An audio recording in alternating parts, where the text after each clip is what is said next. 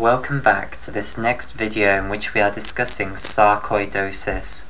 Okay, so we're still in the process of discussing tuberculosis at the moment, specifically the adaptive immune response to tuberculosis, but I'll remind you of how utterly relevant discussing all of this is for understanding the pathogenesis of sarcoidosis. We will, I promise, return to sarcoidosis, and this discussion of tuberculosis in such uh, great depth will be very relevant to sarcoidosis. So uh, keep faith. Okay, so continuing on then with the adaptive immune response to tuberculosis, we have just got signal free for activation inside this naive CD4 positive T cell, which has a T cell receptor design against one of the peptide fragments from an antigen of Mycobacterium tuberculosis. And we want to understand what's now going to happen to this naive CD4 positive T cell. Well, the first thing that's going to happen is it's going to divide and divide and divide and divide in the lymph node. So we're going to go from having one of these T cells to having absolutely loads of them, like so. So I'm going to draw, let's go for four of them, uh, but in reality you'd get far more than just four of them being produced here. You get a huge number of them and all of its progeny are going to have the identical design of T cell receptor. Of course, that's extremely important. Its progeny don't suddenly have some other design of T cell receptor. They all have the identical design of T cell receptor to the original cell here. So we call this process of uh, proliferation clonal expansion of that T cell clone because we have expanded that T cell clone. We've gone from having just one cell with that design of T cell receptor to having far more. So we've expanded that T cell clone, which remember is the name for all of the T cells that have the same design of T cell receptor. So clonal expansion is the first thing that's going to happen. And then what's going to happen is the uh, CD4 positive T cells are now going to start differentiating into one of two options. They can either differentiate into memory CD4 positive T cells, or they can uh, differentiate into the effector CD4 positive T cells. And we could also call these memory helper T cells and effector helper T cells. The CD4 positive and T helper is utterly interchangeable, they mean the same thing. Okay, so let me show this process. So most of these T cells are going to differentiate into effector helper T cells, but a few will differentiate into memory helper T cells. So I want to firstly actually discuss the memory helper T cells because that's a much shorter story to tell than the story of the effector helper T cells. So we'll firstly talk about memory helper T cells. So let's say that this one up here has become a memory helper T cell, and we'll say the other three uh, have become effector helper T cells. So, what are memory helper T cells for? Well, these are to replace the naive CD4 positive T cell. You see, let me show you why we need these cells. If all of the cells that we now produce were to become effector helper T cells, that would lead to a problem because effector helper T cells, although they're going to go off and actually do the eradication of the pathogen, they're going to contribute to the eradication of the pathogen, they don't have a very long lifetime. They only live for a few weeks at the maximum and then they're removed from the bloodstream. Okay? Naive CD4 positive T cells, those have a much longer lifetime of up to years. We if we're going to change all of, uh, you know, if all of these cells are to become effector helper T cells, then that's going to mean that the complete clone of T cells, potentially, is going to completely die out after we used all of them up. So yes, we might be able to eradicate the pathogen, but then we will have lost that clone of T cells potentially, because what if this original naive CD4 positive T cell was the only T cell that you had in your body with that design of T cell receptor, then it's divided and divided and divided, produced a huge number of effector helper T cells, and now those effector helper T cells have done their job and now they've died. Now that clone of T cells will have completely been lost. So we do need to have some of these um, T cells here going back and doing the same job as the naive CD4 positive T cells. And this is what the memory CD4 positive T cells are going to do. they're going to sit in lymph nodes and do exactly the same thing as naive CD4 positive T cells. Okay, they're going to wait for antigen presenting cells to come and activate them, and then if they get activated, they'll do exactly the same thing, divide and divide and divide, and then their progeny, some of them will become effector helper T cells and some will become memory helper T cells. So the memory helper T cells replace the naive CD4 positive T cells, and they're there in case we have to relaunch the adaptive immune response uh, against that peptide fragment. And they are the reason that the secondary adaptive immune response is stronger than the primary adaptive immune response. So the primary adaptive immune response is where we're being exposed to the pathogen for the first time, we're having to launch the adaptive immune response for the first time, and it takes a long time for the primary adaptive immune response to be initiated. And the reason is that you might have very low numbers of these naive CD4 positive T cells of each clone. I mean, I've given the very extreme example of just having one of this specific clone here. And that means that the antigen presenting cells are going to take a long time to actually find the correct T cells. Whereas, we're going to produce a much bigger population of memory CD4 positive T cells. I mean, I've just drawn one in four here, but the reality is you'll produce a huge number of cells in this proliferation stage, and loads of them will end up becoming memory helper T cells. So you'll have a much greater population now of memory helper T cells than you had initially of the naive CD4 positive T cells. And that's the reason that the secondary adaptive immune response is so much quicker than the primary adaptive immune response because it takes much less time for the antigen presenting cell to find the correct um, T cells. Okay, so those are the memory T helper cells. Let's now talk about the effector helper T cells. So let's say that the other three are going to become effector helper T cells. So most of the progeny of the original T cell are going to now become effector helper T cells, and these are the ones that are going to go off and actually help get the Mycobacterium tuberculosis under control. So these are effector helper T cells here. Okay, right. So, effector helper T cells, the first thing to say is that there are loads of different types of effector helper T cells, and you'll have heard of this before T helper 1, T helper 2, T helper 17, T follicular helper, T regulatory. All of these are different types of effector helper T cells. So, what determines which type of effector helper T cells these um, T cells that are going to become effector cells are actually going to become?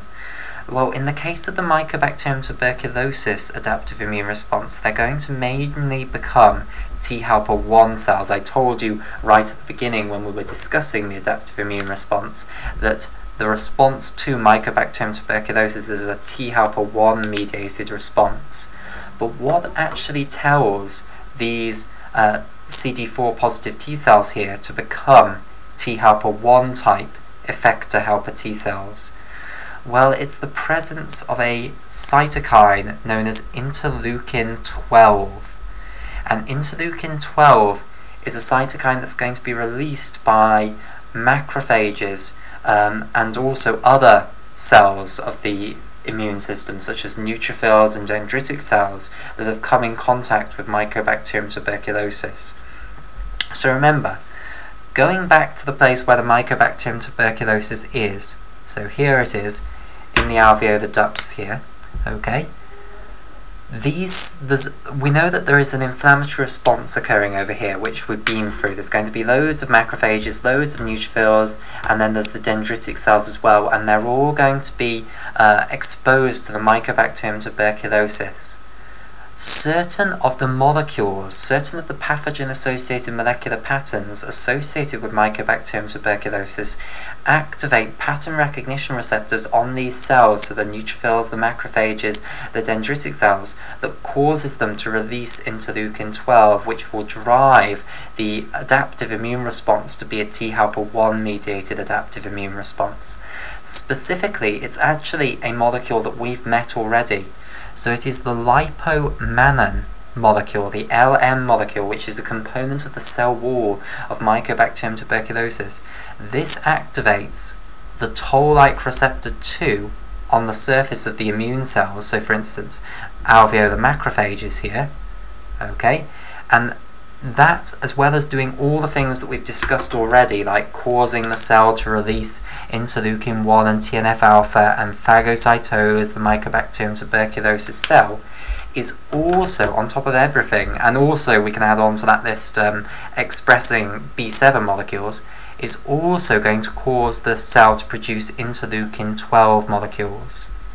Okay? So this, at the sites of inflammation, you're getting interleukin-12 produced because of the activation of these specific pattern recognition receptors uh, against one of these PAMPs associated with Mycobacterium tuberculosis. And this interleukin-12 is then going to go up the lymphatic vessels, i.e. it's going to drain in the lymphatics to the lymph nodes where these adaptive immune responses are being organized, and the interleukin-12 is then going to act on these differentiating T cells, so these cells here, and it's going to tell them to become T helper 1 cells. So the reason they become T helper 1 cells is interleukin 12, which is being secreted in response to Mycobacterium tuberculosis.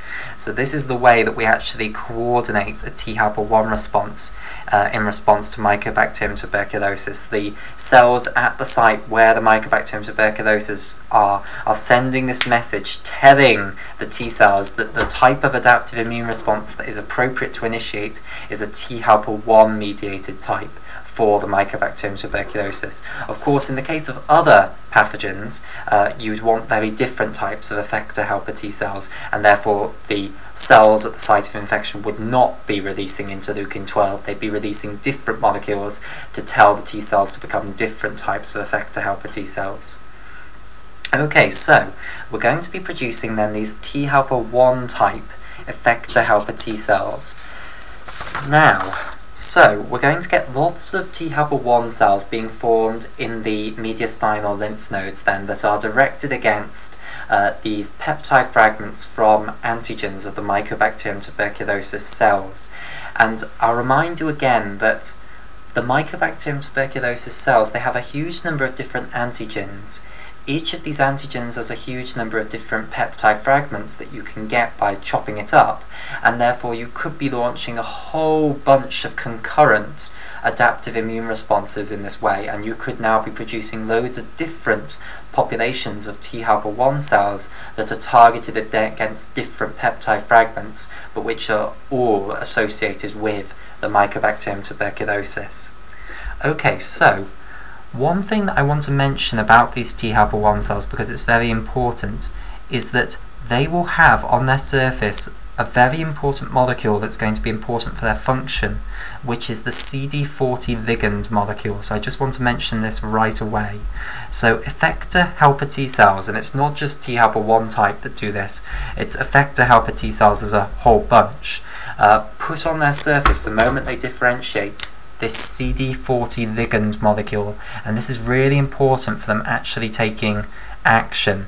So of course I've drawn one CD40 ligand molecule here. In reality, the T helper 1 cell would be covered in CD40 ligand molecules. Okay, right. So now let's continue on the story. So we've got loads of these T helper 1 cells being produced in our mediastinal lymph nodes. What are they going to do now? Well, now they need to go to the actual site where the Mycobacterium tuberculosis cells are infecting and take action. They need to help eradicate the Mycobacterium tuberculosis. So the question now comes, how do they actually get to the site? Well, the first thing is they need to go from the lymphatic system into the circulatory system, and then from the circulatory system they can get into the affected tissue. Okay, so how do they get from the lymphatic system to the circulatory system? Well, uh, the way this works relies on, well, to understand how this works, you need to understand the way the lymphatic system works. So the way the lymphatic system works is that all the lymphatic vessels of the body eventually drain into one of two major lymphatic vessels which then drain into major veins. So what I'm going to draw is the major veins of the superior body and then show you where these major lymphatic vessels are going to drain into. And I might just put it here. Okay, so This in blue here, this is meant to be representing the superior vena cava, which will be draining into the right atrium. So a bit of anatomy now. What are the two great veins that fuse together to form the superior vena cava? Well, these are the brachiocephalic veins, also called the innominate veins but we'll just call them the brachiocephalic veins. Surgeons like calling them the innominate veins.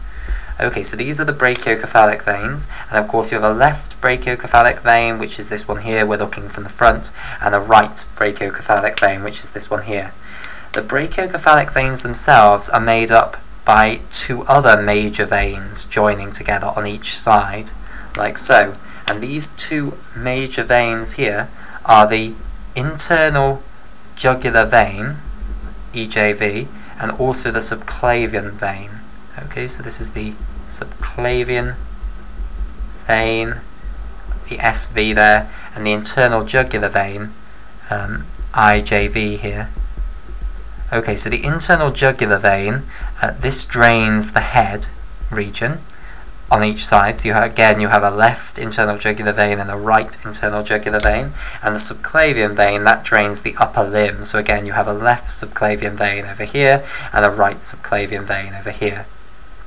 Okay, so those are the major veins then of the superior body, and now what I want to show you is where these major lymphatic vessels are going to drain into.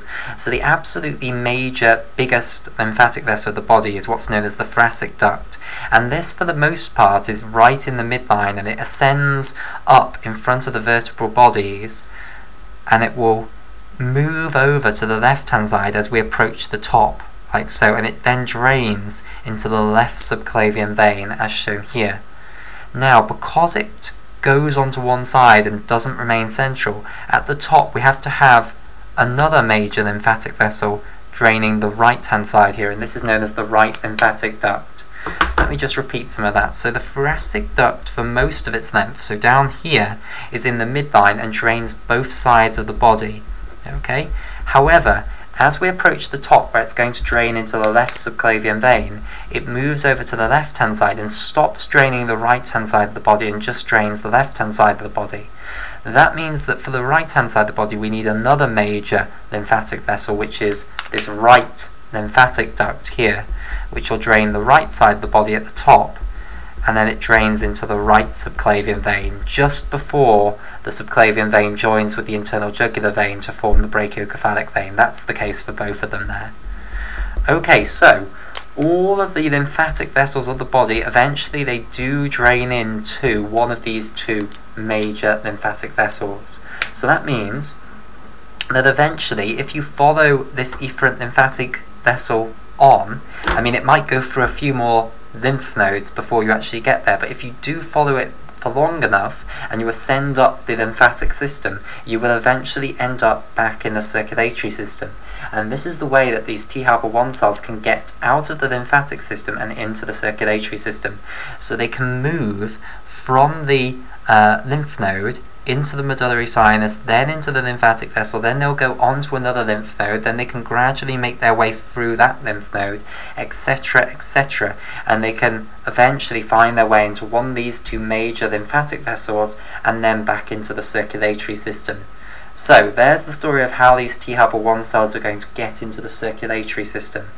Now, of course, once they're in the circulatory system, they'll go into the superior vena cava, into the right atrium, into the right ventricle, into the pulmonary trunk, and then they're in the pulmonary circulation. Then what can happen is they can be recruited by the capillaries and the post-capillary venules, which have undergone the inflammatory response at the site where the Mycobacterium tuberculosis is actually infecting. So that's how we can get these T helper 1 cells being brought to the site where the infection is occurring.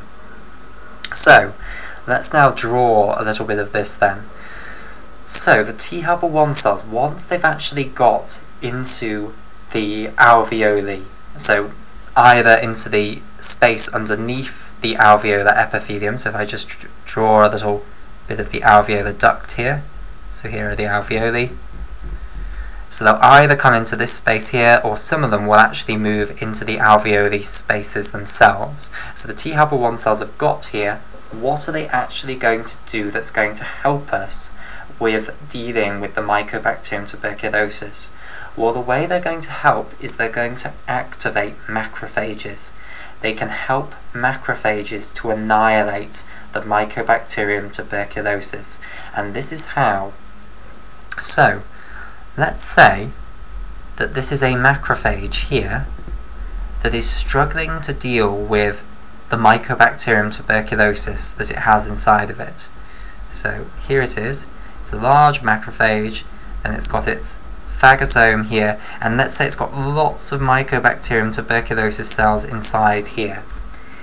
Now, even though it's struggling to destroy the Mycobacterium tuberculosis cells, it will have managed to break down at least some of the antigens of the Mycobacterium tuberculosis. This is what you have to understand. Even though it's not managed to kill the cells completely, occasionally it will, you know, get the upper hand on the Mycobacterium tuberculosis and at least break down a bit of the Mycobacterium tuberculosis, break down a few proteins. So it will continuously be breaking down some of the proteins of Mycobacterium tuberculosis. And therefore, what it can do is present fragments of the Mycobacterium tuberculosis antigens on its surface on MHC class II molecules. And so, let me show this here.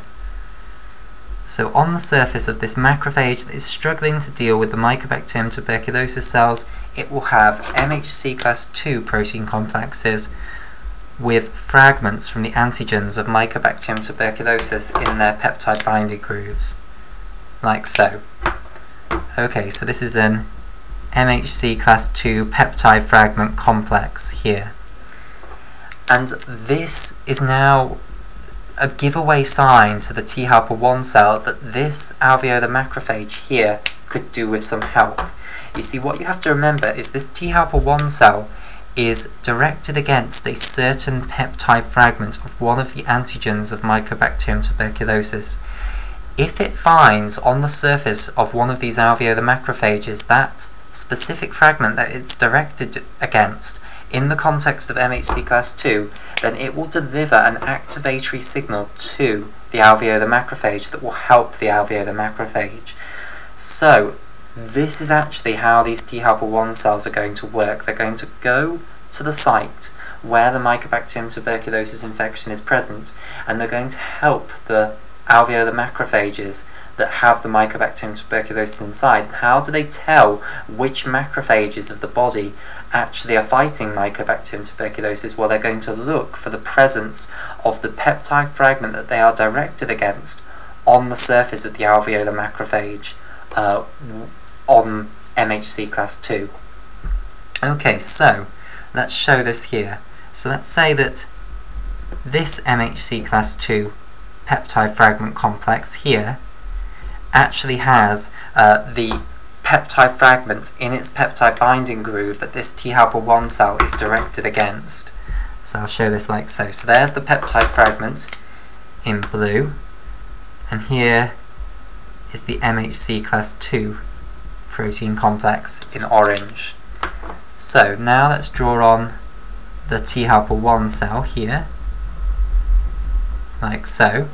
What will now happen is its T cell receptor will be able to bind to this MHC class 2 peptide fragment complex because it's complementary to it. So here is the T cell receptor, and also what of course will happen is the CD4 co-receptor on the surface of this T helper 1 cell will also bind to the MHC class 2 uh, protein complex. So here in green, that's the CD4 co-receptor on the surface of the T helper 1 cell. So when the uh, T helper cells differentiate into effector helper cell T cells, they um, don't lose their CD4, they maintain that. And here is the T cell receptor in pink. So we're forming an immune synapse now between the T helper 1 cell and this macrophage that is fighting Mycobacterium tuberculosis. Okay, so what's now going to happen is when this happens, what this T helper 1 cell now knows is that this macrophage here in the lungs is fighting the Mycobacterium tuberculosis and that it needs some help. the T helper 1 cell is now going to give it certain signals that are going to help it. And one of these signals is going to be in the form of this CD40 molecule that I've, sorry, CD40 ligand molecule that I've told you is going to be on the surface of the T helper 1 cell. So I'll colour this in here in red. So this is going to bind to a receptor on the surface of the macrophage here, known as CD40. So it's all rather uh, sensible naming. CD40 ligand is the ligand for the receptor CD40. Okay, and that is going to deliver an activating signal now to the macrophage here that's going to help it destroy the Mycobacterium tuberculosis. In addition, the T helper 1 cells can also release interferon gamma, which will stimulate the interferon gamma receptor on the surface of the macrophage here. So this little receptor, this is the interferon gamma receptor. So just writing out the full name. So IFN gamma is a cytokine secreted by T helper 1 cells. It's one of the classic cytokines of T helper 1 cells, known as interferon gamma in full. So this is going to be secreted by the T helper 1 cells and it's going to be activating interferon gamma receptors on the surface of these macrophages and it's also going to be activating the macrophages. Okay, so overall the T helper 1 cells, the reason they are called helper T cells is that they're going to go and give help to other cells of the immune system. And here we can see that these cells are going to go and give help to these macrophages in the lungs that are struggling to defeat the Mycobacterium tuberculosis. Now, these T helper 1 cells, they mustn't just give help to any old macrophage all over the body they can only give help to macrophages that are actually struggling with the pathogen that they are directed against. This T helper 1 cell is directed against a certain fragment of a certain antigen of Mycobacterium tuberculosis, and in order for it to be able to give help to this macrophage, the macrophage has to display that peptide fragment of the antigen of Mycobacterium tuberculosis on MHC class 2 molecules on its surface. So if it does, then an immune synapse will form between the T helper 1 cell and the macrophage. And of course, this can also happen for dendritic cells as well. So this could be a macrophage. It will majorly be macrophages, but it could also be a dendritic cell. Any cell that can make MHC class 2.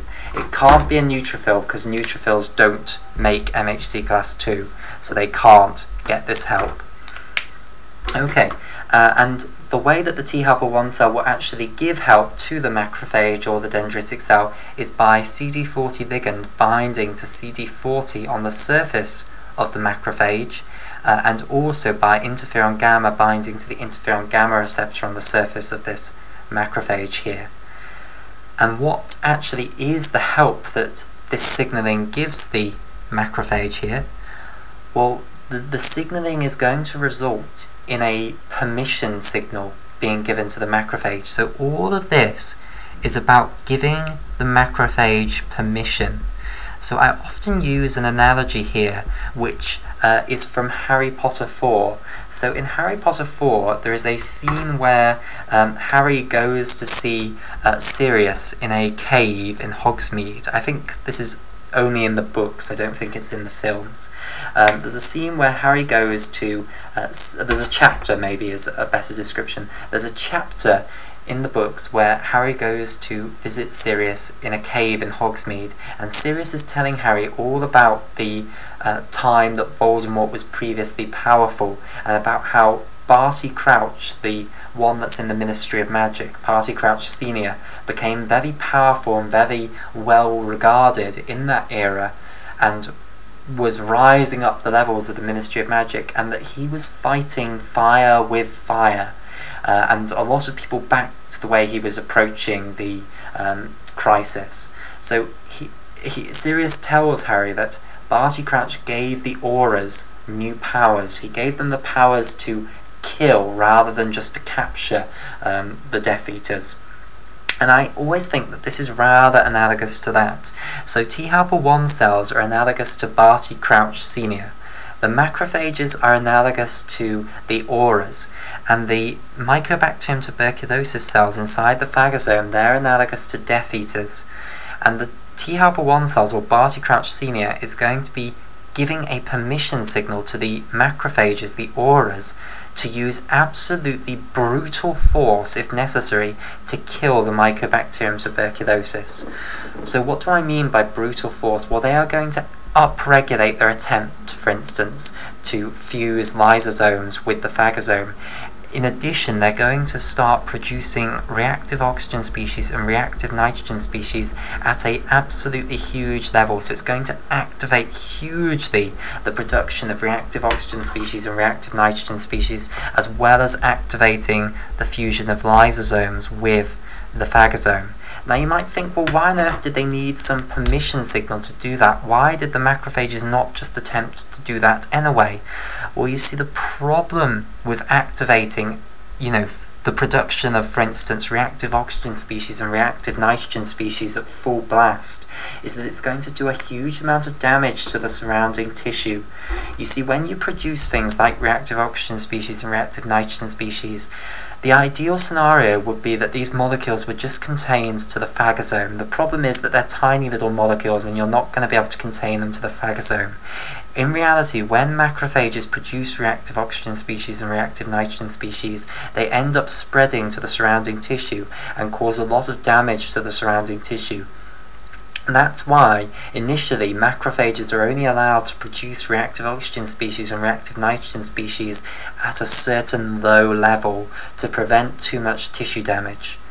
The T helper 1 cells are giving the macrophages the permission to throw everything they have into the destruction of the Mycobacterium tuberculosis. They're saying, don't worry at the moment about tissue damage. You make reactive oxygen species and reactive nitrogen species at your absolutely full capacity. Yes, you will cause a lot of damage to the surrounding tissue, but that's just going to have to be the case. Okay, um, it's the permission to use full force in the destruction of the Mycobacterium tuberculosis, and this full force is very dangerous to surrounding tissue, and that's the reason that the macrophages are not normally allowed to use it unless they have been given permission by T helper 1 cells. Okay, so this is what T helper 1 cells are going to do uh, when they arrive at the site um, where the Mycobacterium tuberculosis infection is currently present. And this is going to work. The Mycobacterium tuberculosis population is going to start being brought under control. I'm going to have a break here and in the next video what we will do is we'll finish this discussion of the adaptive immune response to tuberculosis. We'll discuss how it results in the formation of granulomas um, and we'll discuss in detail the difference between a latent TB infection and an active TB infection.